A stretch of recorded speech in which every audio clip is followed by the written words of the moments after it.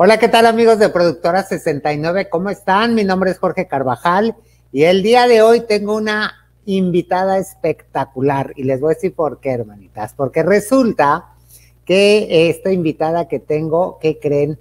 No, bueno, lo que nos va a contar ahora sí que es de otro mundo, porque resulta que la contactamos a ella porque nos hizo el favor de mandarnos un correo electrónico contándonos de una experiencia que ella tuvo con ovnis, con seres de otro mundo, con extraterrestres y cosas de esas que ya saben que a mí me encantan. Entonces decidimos ponernos en contacto con Elizabeth Garza hasta Monterrey para que directamente ella nos cuente su experiencia, a ver qué tal es, qué vivió, qué, qué, qué fue lo que pasó. Me dice la productora, por lo menos la productora está impactada, que ya conoce parte de la historia. Yo no sé nada, absolutamente nada hasta ahorita.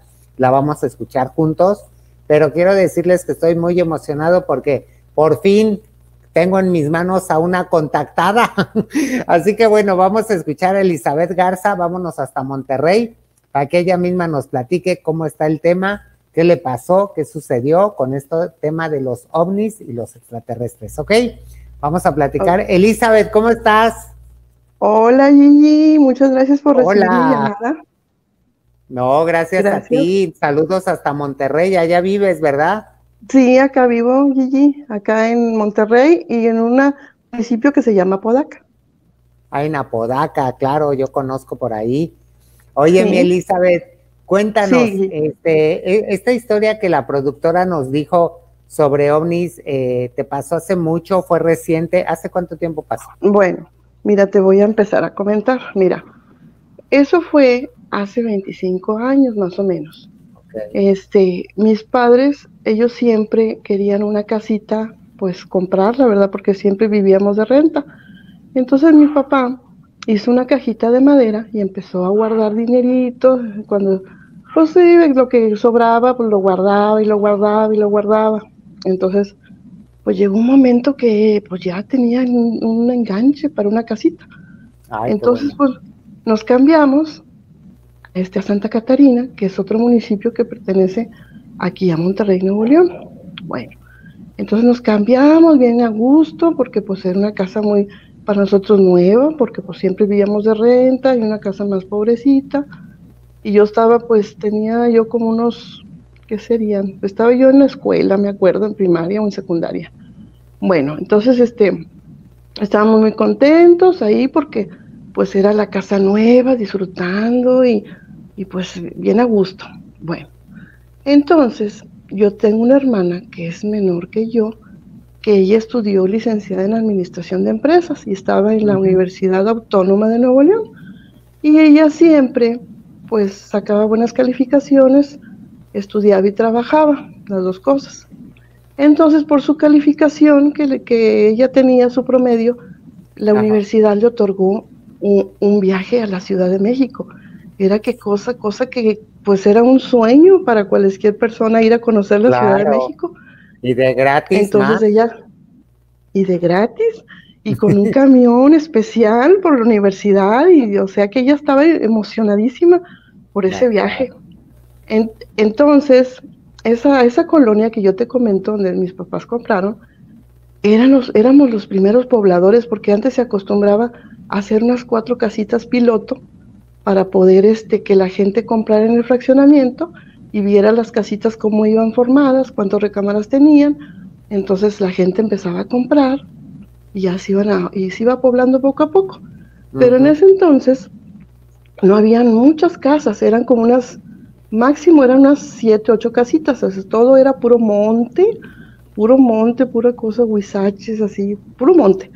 Entonces mi hermana como iba a la Ciudad de México en, ese autobús, ya su regreso de venida le iba a dejar exactamente en la carretera que pasaba por ahí, por esa colonia que estaba despoblada. Entonces mi mamá me dice, este, nos vamos a acostar porque pues eh, tu hermana viene a las 3 de la mañana, ese, el, autobús va a pasar por aquí y pues a las 3 de la mañana tenemos que recogerla porque pues ella no puede andar este, cruzando ese monte tan oscuro y tan feo. Entonces lo, que, lo que hicimos, Gigi, pusimos el despertador y luego después ya que dio la hora, eran las 3 de la mañana, nos levantamos Entonces mi mamá pues ya bien emocionada, ay, ¿qué nos cuenta tu hermana? Porque iba a conocer cómo se hacía un programa en vivo en Televisa, porque iban a ir a Televisa a conocer a Jacobo Sabludowski, cómo hacía un noticiero en vivo. Entonces, pues ella estaba bien emocionada porque quería conocer a Jacobo Sabludowski con sus, ya ves que tenía sus audífonos. Sus audífonos, entonces ella estaba muy emocionada. Bueno, entonces este, te cuento que ya, ya regresaba ella del viaje, entonces este, mi mamá me dice, oye, ya, ya es hora, párate porque ya vamos a recoger a tu hermana y vamos a cruzar ese monte tan feo que está así muy despoblado. Pues yo me levanto, me despabilo, todo de lo de que ya estaba dormida. Con una flojera tremenda, me imagino. Sí, no, hombre, porque yo estaba apenas estaba agarrando el sueño cuando mi mamá me despierta. Bueno, pues ahí vamos, caminando. Nada más las dos, tu mamá y, tú. Nada más nosotros dos, imagínate en ese monte tan feo, tan oscuro, no había luna. ¿Cuánto tiempo era de caminar? Era poco, no era mucho, eran como, era cruzar una colonia que, que todavía no se poblaba, entonces era una colonia, pues imagínate, serían como unas, no sé, algunas 10 o 20 cuadras más o menos. Pero pues estaba, pesado y solo. Estaba pesadito. Sí, estaba muy feo. ¿También por, rufianes o nada más por animales que pudieran salir? Pues también por, por asaltantes, porque pues a esa hora se prestaba que la gente, muchos trabajadores venían de trabajar y lógico, pues a esa hora salían los obreros y pues a veces los asaltaban, les quitaban lo que traían en la raya o a veces traían billetera y también se las bajaban. Entonces, pues hace cuenta y que íbamos muy contentas las dos, ¿verdad? Entonces, oye, de repente este, empiezo a ver yo, yo esto no se lo he contado a nadie, a nadie, nada más que a ustedes y a mi familia, porque yo pienso que si, que si se los cuento van a decir que estoy loca o, que, o que estoy inventando, y no, yo lo vi. Entonces, vamos caminando y de repente se pone una, como hace cuenta, como una nublazón, así como si fuera un humo blanco, blanco, y le digo a mi mamá, que venía así a la par conmigo, le digo, oye mamá, pero si no hay neblina, ¿por qué se está poniendo así? Y dice mi mamá, pues quién sabe, a lo mejor ya bajaron las nubes, o porque tan solo que está, a lo mejor ya se nubló, me dijo mi mamá. Bueno, lo vimos hasta eso, hasta medio normal. Ahí vamos. Oye, de repente, quiero dar un paso, no puedo moverme, me quedo parada así, y siento algo como que se ve, o sea, yo sentí algo que estaba arriba, pero no, lo veía, yo nada más sentía. Entonces o sea, te quedaste como tiesa, como antes decíamos, encantada. Exactamente, y perdí de vista a mi mamá, ya no se veía de tanta En medio de la neblina. Exactamente. Ya no, la vi, entonces. y no le, no intentabas hablar o no podías. Sí, sí, sí, le decía, mamá, mamá, mamá, le gritaba yo porque no la veía. O sea, dije yo, ¿qué pasaría? No la veo. Y no, no me contestaba. Y no la veía y más, más nerviosa me ponía. Decía, ¿qué va a pasar? porque está así? Entonces, donde yo alzo la vista, veo una cosa enorme, enorme, así. Me tapaba el cielo. O sea, no veía el cielo, veía nada más una cosa, pero de un color que no te puedo describir. Es un color ay, todavía este, hablo de esto y siento así, no sé. como nervio, claro. Me dan muchos nervios. Era, era entre plateado y gris, o sea, era un color extraño que yo no he visto en ninguna gama de colores. En ninguna gama que digas tú, yo mezclé el blanco y el gris, o el negro y el gris, o el azul y el gris, ¿no? o sea, era un color extraño, extraño. Y no hacía ruido en absoluto, no, no había ruido, no había una cosa, ¿cómo puedes explicar? Nada más veías como si fuera un techo. Como si estuviera, como, exacto, como si estuviera parado. Y no te exagero, Gigi, pero era a la altura de un edificio de tres pisos. O sea, no había manera de que dijeras tú, ay, pues estás viendo algo que no existe o algo, te estás imaginando en la neblina algo. Era una cosa bajita, súper bajita.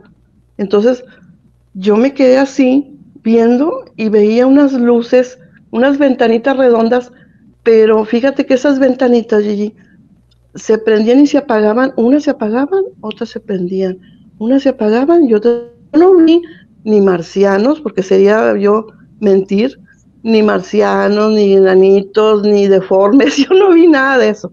Yo lo que vi que me impactó. solo sola la cosa esa, la aparato. Sí, o sea, seguramente tenían gente adentro, ¿verdad? O, gente que la manipulaba, ¿verdad? Pero lo que yo no me explico es cómo se mantenía en el aire sin ningún ruido, o sea, sin ningún nada, o sea, ni siquiera nada. Ni aire, ni aire Nada, no, nada, nada. No, nada.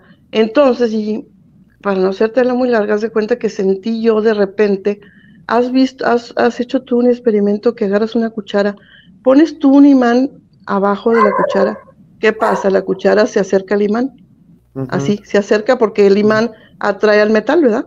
Claro. Yo, bueno, yo empecé a sentir así, todo el cuerpo, el cuerpo, el cuerpo, empecé a sentir, pero no me despegué del piso, ¿eh? Ojo. Como si, tú, fueras, como si tú fueras el imán. Exacto, yo sentía que, me, que esa cosa, esa cosa de arriba me estaba jalando, me jalaba, o sea, yo sentía que me jalaba, pero sin despegarlo de los pies del, piso. Entonces llegó un momento que yo quería gritar y, y, no me salía, así ya en ese momento ya no me salía el grito, simplemente me quedé así. Dije, esta cosa o me va a llevar, o qué me quiere preguntar, o por qué está aquí, o sea, por qué se puso arriba de mí. ¿Qué es lo que está pasando? Pero llegaste a pensar que eran ovnis o, ni, ni, por tu cabeza No, sí, no, sí, sí, sí, sí, porque yo veía muchos programas de, digo, de señor ah, Jaime Maussan de que esto, pero yo pensé que era... Eso. Bueno, no, no tanto que me gustara, sino que yo los veía desde mucho tiempo atrás, yo los veía en el Cerro del Topo Chico de aquí, los vi en la Sierra Madre Oriental, los vi en muchas partes, pero los puntitos, o sea, los puntitos rojos que se prendían y se apagaban a lo lejos. Pero yo aún así no creía, decía, esas son luces que están lanzando de por ahí, o sea, yo no nunca vi yo un ovni de tan cerca, o sea, nunca lo vi, o sea, entonces, pero yo sí sabía cómo eran porque yo veía en la televisión que eran redondos, que, que, que no hacían ruido, que, pero yo nunca me imaginé verlo, o sea, no, ni por la mente me pasaba. Entonces yo sentí así que me, que me, me, así como con un aspirador, así sentí, como que te vas elevando, como cuando te estira alguien los brazos y te quiere estirar o tronar los huesos, así. Entonces, em, este, quería gritar y no podía. Y luego llegó un momento y que yo en mi mente, yo, yo pensaba, o sea, pensaba y que yo misma me preguntaba, no, pues ya estuvo, ya me llevó, esta cosa ya me llevó, ya, ya, qué va a pasar o no sé qué ir a hacer. Mi mamá ya se la llevaron también porque yo no la veía. O sea, y no, no era así. O sea, yo, este, mi mamá estaba perdida como que, como que, como que esa cosa, pienso yo, y ahora, ahora caigo en la, en la, en, en la realidad de que esa cosa se como camuflajea, así se pone como para que no lo vean del exterior, porque toda esa nublazón, ¿qué era? O sea, no eran nubes normales del cielo, eran unas cosas, una nube espesa, pero bajita, muy bajita. Hacia el nivel, de, al nivel del, del ovni, hasta abajo, hasta el suelo. O sea, se cubría todo el ovni y hasta abajo, nada más este se me veía yo así. O sea, yo me veía, me veía el puro cuerpo, pero no veía yo alrededor nada. O sea, era una, una nublazón. Entonces dije yo, no, ya valió gorro, ya me llevó esta cosa. Yo tan joven. y sin haber amado. y sin haber amado, y sin novio, y sin nada, ¿qué voy a hacer? ¿Me, irá a contactar un marciano? ¿Iré a tener un hijo de un marciano? Pues quién sabe, yo pensé que, así iba a pasar, porque dije, ¿para qué me quieren? No me quieren de modelo, no me quieren de para que trabaje para ellos, me quieren para reproducirse. Fue lo que pensé yo. Dije, Dios mío, un hijo marciano, ¿qué le voy a decir a mi mamá? ¿Dónde andabas, mija? ¿En dónde te metiste? Voy a hacer un servicio allá arriba. sí, fíjate nomás. Y luego, este, no, no, y mi mamá, este, y luego ya de repente dejé de sentir eso. Yo creo que yo pensaba en mí, Dios mío, no me, que no me pase nada ni a mí ni a mi mamá, y luego mi hermana, ¿qué va a hacer? Estabas luchando contra el jalón que te daban, me imagino. Sí, sí, yo, yo sé. y tú, tú jalabas. Y yo, y yo me, yo me hacía así como cuando te haces chiquita, así, así me encogía.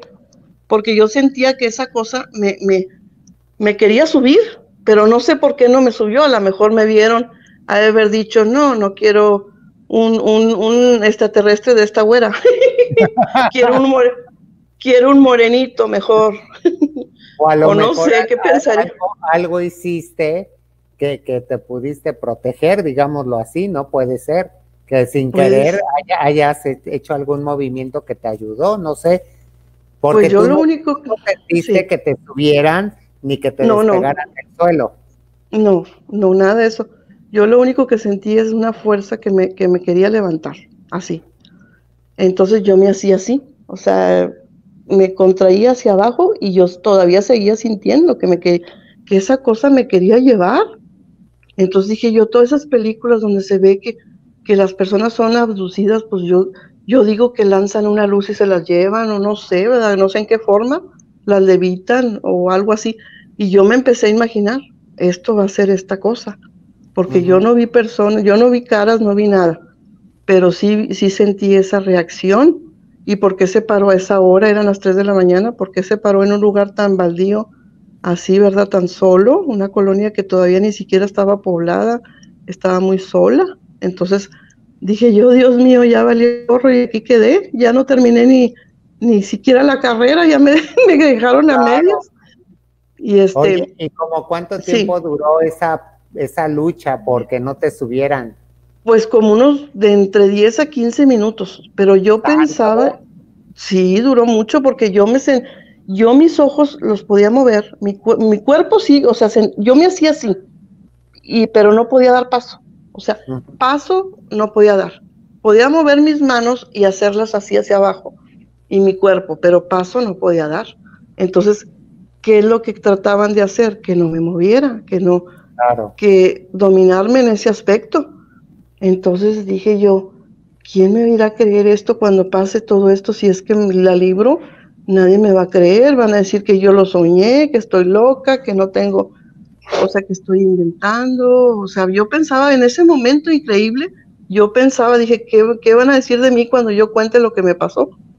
Entonces yo me, yo no conté a nadie más que a mi familia, porque mi mamá cuando empezó a, desaparecer esa neblina, que se empezó a desaparecer, entonces fue cuando vi a mi mamá. Entonces yo la vi, ya no la vi aquí, a un lado mío, la vi como a dos metros, que estaba parada, pero viendo hacia allá. O sea, yo viendo su espalda y ella viendo hacia allá, hacia la carretera. Pero, pero, pero eh, eh, antes de desaparecer la neblina, ese aparato que hizo nada más. Ah, no, ahí se quedó. No, ahí se quedó, ahí se quedó. Y entonces yo lo que hice es bajar la vista y dirigirla hacia mi mamá, que era lo que me preocupaba de que dije yo, para mí que la subieron primero, porque como yo no la vi, la taparon con la neblina, yo dije, ¿ya la subieron? Eso, ese Pero tu mamá estaba, estaba como si nada, o sea, no te estaba no, sí. No, no, no. Para ella no había pasado el tiempo. No, exactamente, era lo que yo comentaba, de que, de que en esos momentos que yo viví, que yo pasé, como que a ella la encapsularon en el tiempo y a la vez hicieron que no se diera cuenta de nada. Porque yo le comenté, cuando ya empezó a disiparse la, niebla, yo todavía veía eso cuando empezaba a disiparse la niebla. Y de repente que volteo, o sea, cuentos, no sé cómo sería hasta 10, volteo y ya no hay nada. Y la niebla ya empezaba como que como que a moverse, como que ya se empezaba a disipar la niebla, como si un aparato la succionara y se empezara a ir. Entonces cuando veo a mi mamá, que está de espaldas de mías... Todavía no te podías mover, o ya. No, ya, ya en ese momento que, empezó la niebla así, empecé a sentir yo ya, la, ya los, como que las piernas se me entumieron, y se me entumieron, pero no porque estaba parada, sino, no sé, como que ellos mandan algún, no sé qué sea, pero mis piernas pudieron dar un paso y fue cuando me moví yo, di un medio paso hacia adelante y veo a mi mamá y le grito, mamá, y mi mamá volteó y, me dice, ¿qué pasó? ¿Qué pasó? Le digo, pues no, ¿qué no viste? No, yo no vi nada. ¿Qué pasó? Pues que ya le empecé a platicar, o sea, ya empecé a moverme lentamente a donde estaba ella. Ella estaba dos metros adelante de mí. Y le dije, mamá, volver a caminar normal O, te costaba trabajo? No, normal. Nada más al principio. Un ratito empecé a sentir como calambres, como si cuando cuando te sientas tú con una pierna abajo de, otra, así que te sientas. Que se te duerme. Ándale, así, así sentí un ratito nada más. Y yo y ya cuando di el, sentí el, di el paso adelante, ya empecé a notar que ya podía caminar. Entonces ya empecé a caminar normal y me dirijo a mi mamá. Y le digo, ¿viste? ¿Qué no vi qué? Me dice mi mamá. Pues qué, pues no viste lo que, lo que estaba arriba. No, yo no vi nada.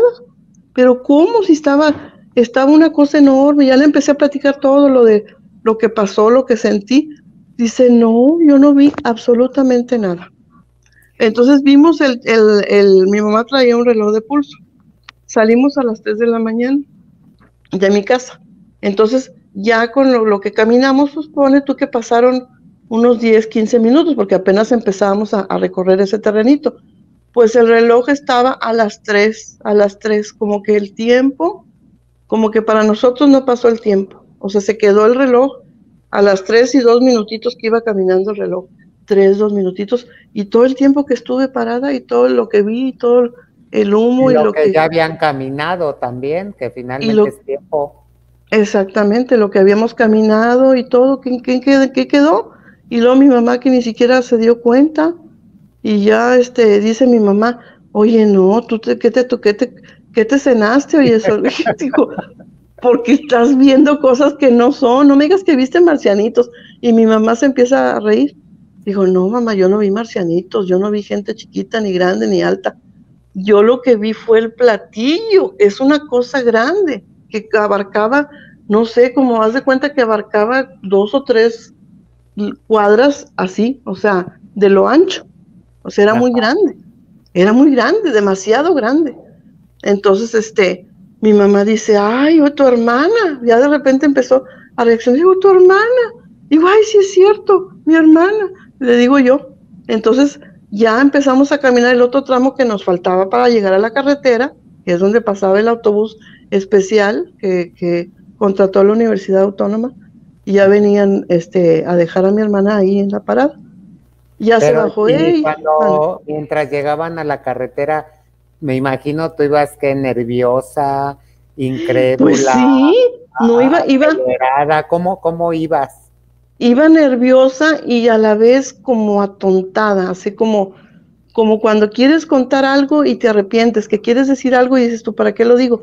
no me van a creer, si mi mamá no lo vio y mi hermana menos, porque apenas iba llegando, entonces yo me sentía pues hasta un punto insegura de, contarlo y a la vez nerviosa porque dije yo, pues, ¿por qué no me llevó? O sea, ¿qué, qué fue lo que impidió que esa cosa? Porque estaba a punto yo de subir, o sea, a punto.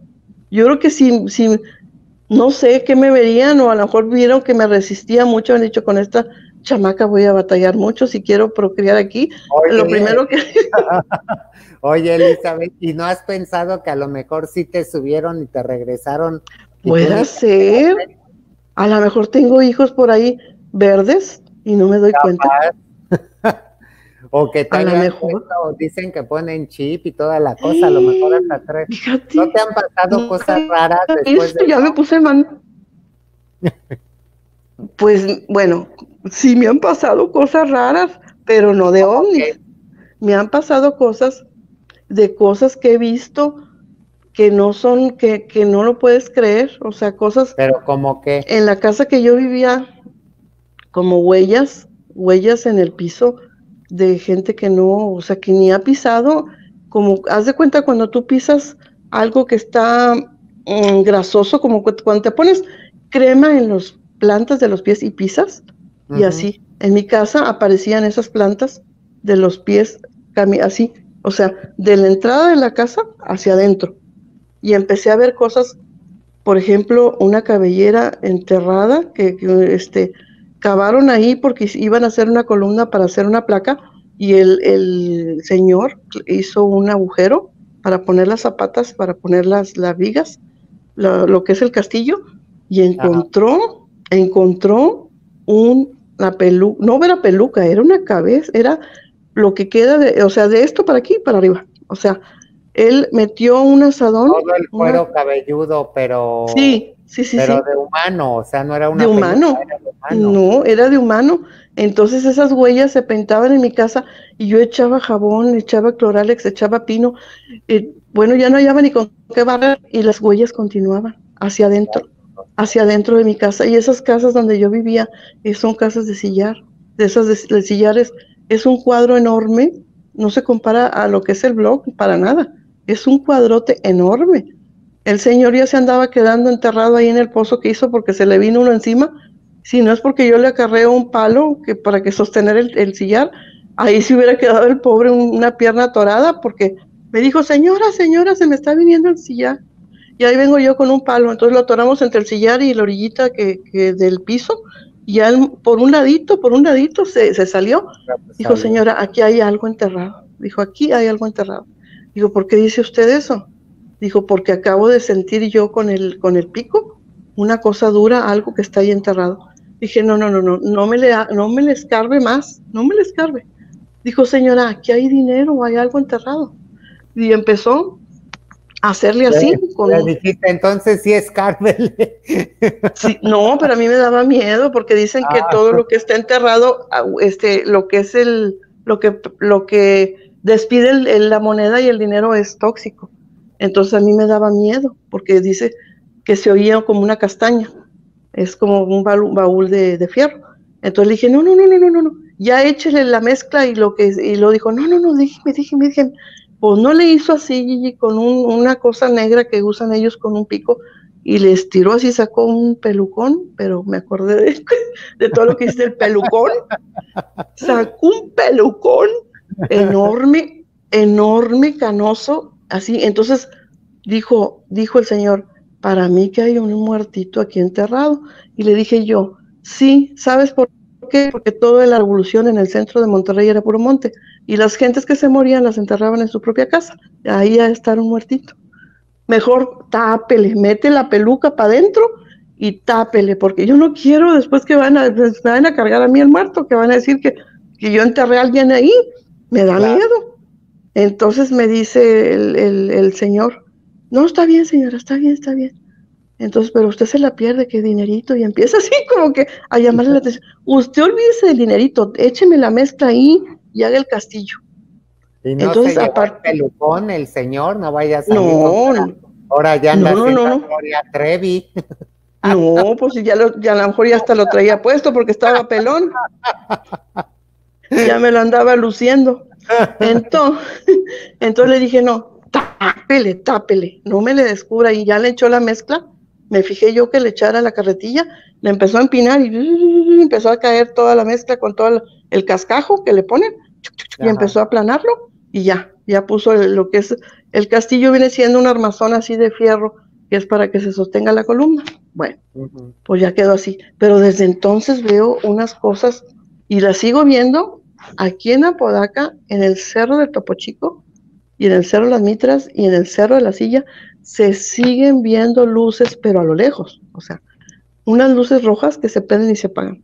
Yo no creo que sean antenas, porque la única antena que hay la conozco y es una. Y se ven varios focos rojos que prenden y apagan. Y en el Topo Chico también se ven varios focos que se prenden y se apagan. Y normalmente, pues lógico que son focos es en la noche pero sí, sí me han pasado muchas cosas y muchas cosas de a partir de eso. Y ahorita que me dices del chip, no me voy a revisar, no voy a hacer que traiga uno puesto. Pues sí, date una checadita, capaz que ahí traes tu buen teléfono. Imagínate, están viendo mis conversaciones, no, no, no, no. Oye, Elizabeth, bueno, y regresando a, cuando recogieron a tu hermana, la recogen, llegó. Ah, sí. ¿Ya estaba ahí o, llegó a No, no, este, llegamos nosotros y ya estaba parada con su maleta ahí, su maletita ahí este, en el piso. Dice, bueno, yo ya me iba a encarrerar a cruzarme el, terreno porque no llegaban. Entonces yo le dije, ahorita te cuento, ahorita no puedo porque pues vamos caminando en lo oscuro y no este no había ni luna ni nada, estaba oscuro en, lo que ¿Y no podíamos. daba terror eh, regresar otra vez? Sí, sí, exactamente, sí me daba terror porque dije, donde esa cosa regrese y me di, y ya entonces yo tenía mucho miedo. Entonces lo que hicimos, nos veíamos ridículas, pero bueno, Mi hermana con la maleta parecía que la andaba siguiendo la policía, corre y corre con su maleta, y yo y mi mamá de la mano, como niñas huérfanas, corre y corre todo el terreno baldío. Así nos regresamos. Por el, mi mamá pues no, eh, no creía, pero con lo que yo le dije, le alcancé a decir nada más en ese tramo, le dije, vámonos, córrele. Y mi hermana con su maleta llegó sin llantas casi. La pobre maleta, pero pues era un miedo tremendo. ¿Ya no vieron o tú ya no viste nada extraño? No, ya de regreso nada, ni nublazón, ni a nave, ni a lo lejos, ni a lo cerca, ni nada. Monterrey, yo vi, yo, mis papás viven cerca de la Huasteca. En la Huasteca, ahí está cinco minutos, diez minutos caminando está la Huasteca. Entonces en la Huasteca es un lugar donde también se han visto muchos ovnis. Ahí en la casa del doctor pequeño, que es claustrada en uno de los cerros, que ahí la, ahí la fabricó, la hizo el doctor ese que dicen que después se mató, se volvió loco, no sé qué. Entonces dicen que ahí por, eh, se presta porque es un lugar muy solo, mucho cerro, muy este, pues sí, es un lugar inhóspito, ¿verdad? Claro. Entonces, este, pero sí me han tocado ver muchas luces así, de lo lejos pero de cerca eso fue impresionante para mí, fue una cosa que, no puedo olvidar y cada vez que hablo de eso me siento, no sé, me da, me siento un escalofrío muy feo, muy feo. Y, se, seguiste pasando por ahí, obviamente. Sí, pero ya se empezó a poblar, ya empezó como que a haber postes de luz, ya como que ya empezó a haber, empezaron a quitar los chaparrones que había ahí de matas y hierro, así eso como que hacía más oscuro el lugar, más tenebroso, entonces ya como que ya tenía uno más seguridad en cruzar, pero antes no, antes eran árboles secos y chaparrones y hierbas, haz de cuenta que entrabas a la selva de la candona en chiquito. Pues, pues sí, o sea, te daba, te daba miedo. Y no, nunca pero eso fue lo que me pasó. Otra cosa, o sea, un fantasma, un... Eh, bueno, de, no, fantasma, bueno, a mí me pasó, hablando de fantasmas, a mí me pasó de una viejecita, eso sí lo vi yo con mis propios ojos. En mi casa eh, tiene un porche grande, entonces en tiempo de calor, como era una colonia que apenas estaba fundando, entonces la gente en calor nos dormíamos en el porche y poníamos cobijas y nos dormíamos ahí, chamacos y todo. Este, había, había una leyenda, una, una, unas pláticas de que pasaba una señora como a las 3 de la mañana por toda la calle, a las 3 de la mañana, una viejecita. Y claro que yo nunca creí, dije, ¿cuál es viejecita a esa hora? ¿Qué va a hacer una viejecita a las 3 de la mañana? Pues no, no es cierto.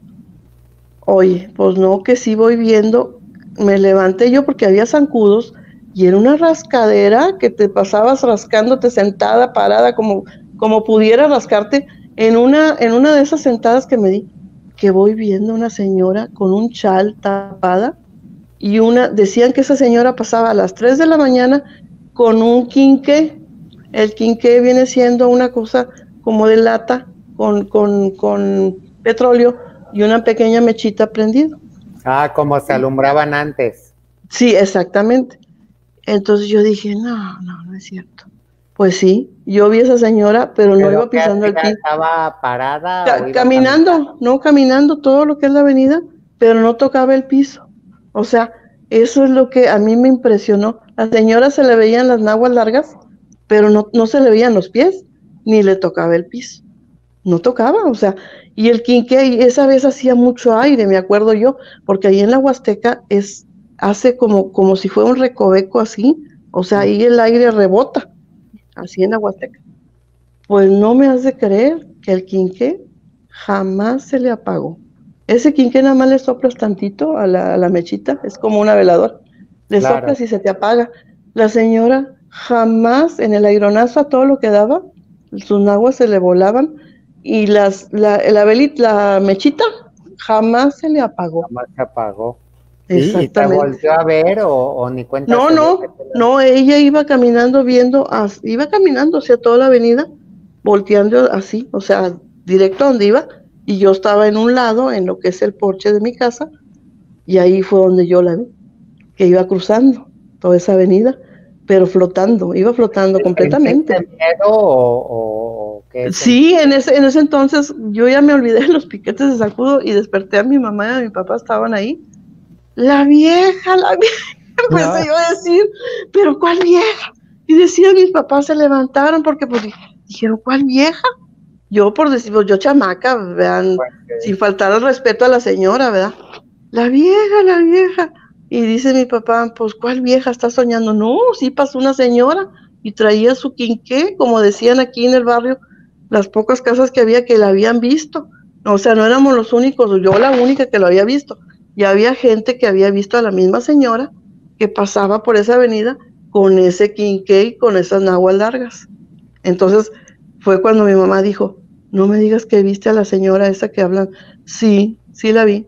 Y y pues no, no calculaba yo la hora, pero pues yo me imagino yo que eran, era en la madrugada, porque en esos tiempos nos acostábamos tarde porque como hacía mucho calor, entonces ya agarramos ahí lo que es el porche y ahí nos, nos acostábamos todos. En ese entonces estaba muy segura la colonia. Pero sí, es, esa es otra de las experiencias que, visuales que, que a mí me tocó ver de esa señora. Y este, pero, pero si has aguantado mucho, ¿no? Porque, porque es como mucho susto fuerte. Sí, fuerte. Y, fíjate, y hay otra cosa importante, pero eso yo no, a lo mejor lo traigo de herencia, porque mi mamá, ella quedó huérfana a los cinco años, no tiene papá ni mamá. Y ella dice, ella es de Cadereyta Jiménez, Nuevo León, que este, está colindando aquí por, eh, en Monterrey. Entonces ella quedó huérfanita y ella dice que cruzaba el río Ramos para ir, la escuela estaba de aquel lado, entonces ella tenía que caminar unos eh, de esos que les llaman sembradíos y luego estaba el río Ramos y ya de aquel lado la escuela. Entonces iba con su hermanita a la escuela con sus libros. Entonces se creció el río Ramos, pero fíjate que en ese entonces me platica mi mamá que había un palo grueso que, que estaba dividido así, o sea que cruzaba de lado a lado para que los niños pasaran ¿Para qué lado? Era Exactamente. Entonces su hermanita alcanzó a pasar.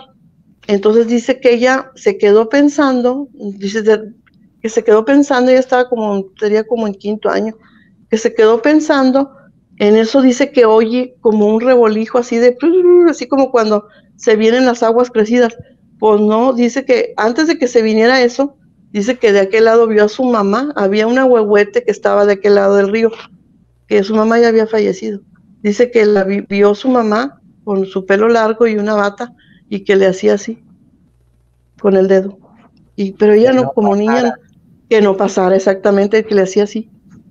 Entonces ella nomás se le quedó viendo y, y yo creo que en lo que le entretuvo, se vino, venían caballos, carretas entre el agua de, de, de, río Ramos, carretas, palos de, este, de árboles, maleza, vacas, que yo creo que atravesaron en ese momento o, de los poblados que estaban más arriba, y se vino, se vino trayendo todo. Y el río, dice que ella se hizo para atrás, empezó a hacerse para atrás, para atrás, para atrás, y en lo que se hizo para atrás, dice que le llegó casi dos o tres centímetros de los pies el río, que venía revuelto con todo, pero que si no ha sido por ese mensaje que le dicen no, pero ella nada más veía el dedo que le decían no. Y la, hermanita se quedó de aquel lado mientras ella de este otro lado. Y no pasó por eso. No pasó por eso porque le advirtieron que si cruzaba se le iba a llevar el río Ramos con toy, toy palo y todo lo que estaba ahí para cruzar y en sí se llevó todo, ¿eh? No dejó. Y la hermanita también se salvó. Ella se salvó porque cruzó primero. Allá estaba de aquel lado y mi mamá se quedó de este lado. Así, así pasó. eso me lo contó mi mamá, eso no lo viví yo. Pero te digo que sí, sí, esos detalles que me han pasado sí son muy, están medios, medio raros. Oye, ¿ya después tu mamá te creyó lo del ovni o nunca te creyó? Bueno, es fecha, es fecha que me dice que no, porque ella no lo vio. O sea, no es que dude de... Ella no, o sea, no vio un cambio en el tiempo, ella, ella iba caminando normal, ¿no? Exactamente, o sea, ella, ella pensó como que se, como que esa cosa y encapsuló a mi mamá en tiempo y en, y, en movimiento, porque la, y a mí, a mí sí me dejó sin moverme, eso sí, pero yo vi, o sea, yo, yo observé, ¿por qué a mí me dejaron verlos? No sé, nada más me querían llevar a mí porque estaba más joven, mi mamá un poco más, no estaba tan grande, ¿verdad? Pero estaba un poco más grande. Eso es lo que yo no me explico, por qué a mí me dejaron que los viera y por qué no me llevaron, porque a lo mejor vieron que me resistí, pensaron que no iban a poder, no sé, no sé, porque dicen que ellos hablan con la mente, o sea que ellos se comunican con la mente, pero que tienen poderes, eso, eso que llaman que los platillos los mantienen estáticos, ¿cómo le llaman eso? Que es el, el ¿cómo le llaman? Un nombre muy raro, eh, que es, que es un, una cosa que los mantiene en un solo espacio sin moverse y sin hacer ruido. No me acuerdo qué, qué palabra usa.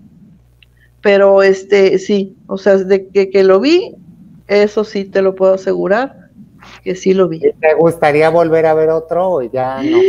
No, ya no, porque ahora sí me lleva. a, lo mejor no para ser marcianos, a lo mejor para cuidarlos. Para cuidarlos. ¿Quién sabe? De nana.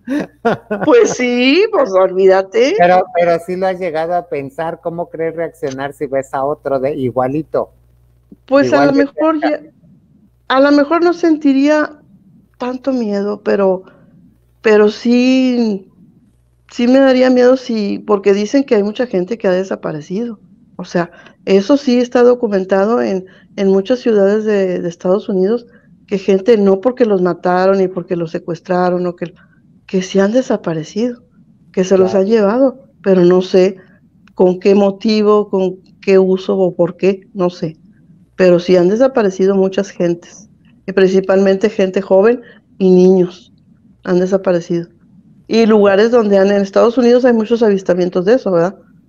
No sé, este, Jaime Maussan, ya ves, lo acusaron de loco y de todo, el periodista que era, pero eso es periodista, ¿verdad? Y, salía en un noticiero, pero lo han acusado así de que loco y de que, que tiene pues las fotos chopeadas mientras no te pasen a ti las cosas, la gente es difícil que te pueda creer, ¿no? Es normal. Ah, sí, se te toman. si a ti, alguien te hubiera contado esa historia, a lo mejor decías, ay, de qué está hablando esta pícara soñadora, ¿no? Pero tú lo viste, tú sabes que no fue un sueño ni que fue tu imaginación, tú lo viste. Sí, yo lo, vi. Yo lo vi, entonces es una cosa impresionante que, que existen otros mundos que que dicen que en el Popo han visto muchos zombies ahí eh, sobre el Popo y yo no, yo no entiendo cómo, porque si está la lava, está caliente, ¿cómo puede entrar? O sea, ¿cómo o qué energía necesitan del Popocatépetl para poder ellos abastecerse de alguna energía de las naves? No sé para qué usen, pero de que se han visto y documentado en videos, sí se ha visto ¿eh? en el Popocatépetl. Claro. Entonces, pues, a lo pues, lejos qué historia tan más terrorífica, porque debe ser súper, súper feo toparte con algo así, y más que no te puedas ni mover, ¿no? Pero afortunadamente, pues estás aquí, no sabemos si sí te llevaron o no te llevaron. Este, no sabemos, a lo mejor nada más. Tú crees que no, pero pues, quién sabe. A lo mejor nada más me utilizaron y a lo mejor andan por ahí unos hijitos volando allá en, en las naves y no los conozco, no sé ni si tengan apellido o nombre, no sé pero de que, de que yo, de que pasó eso, sí pasó, sí pasó. Así es que yo toda la gente, mande. dile a la gente que, que, les recomiendas.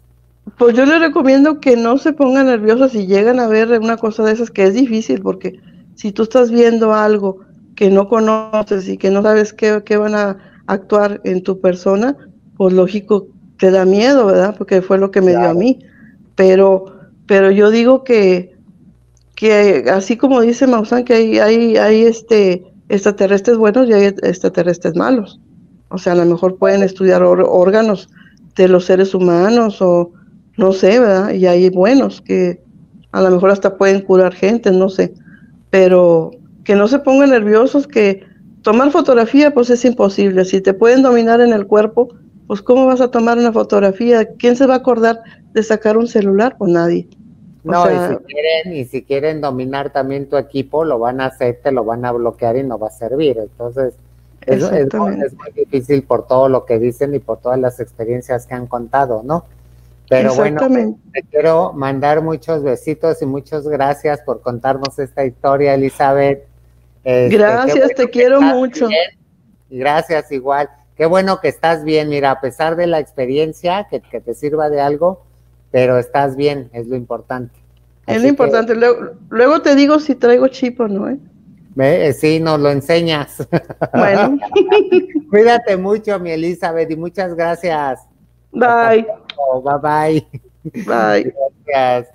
Oigan, pues esta fue la experiencia de Elizabeth Garza.